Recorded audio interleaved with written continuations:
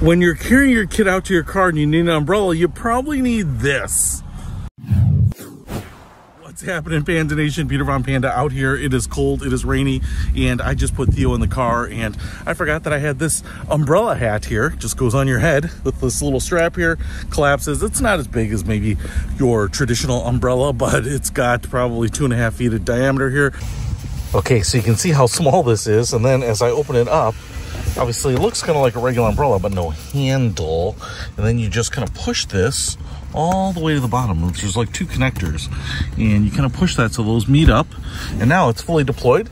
And you have this elastic band here, which I'll put on my head.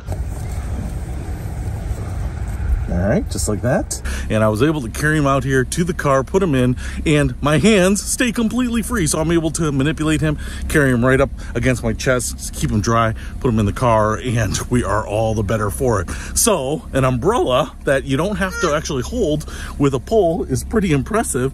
And look, you're happy and you are dry. And this little umbrella hat, which I think is something of a gimmick, is actually pretty useful. So if you want to pick this up, I'll put a link to it in the description. Peter Von Panda and Theo out.